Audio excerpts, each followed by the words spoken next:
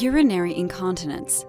The involuntary escape of urine is a widespread problem affecting over 1 billion women worldwide. Another 300 million women suffer from a related condition, genital prolapse, where the pelvic organs drop below their normal positioning.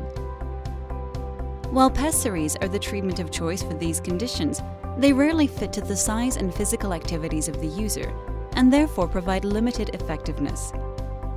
In addition, a woman must get fit with a proper sized pessary by her gynecologist, which many feel embarrassed and uncomfortable doing. Now there is a solution GynoPess.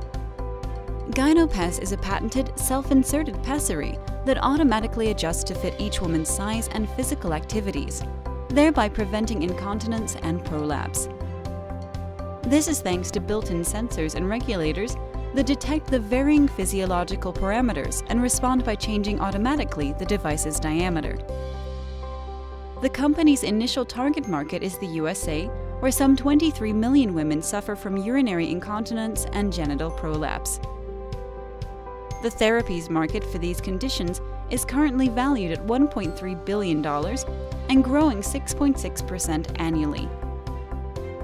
Gynotech is seeking investment to enable it to further develop the pessary and perform clinical trials that would demonstrate a reduction in both urine leakage and the number of daily incontinence episodes.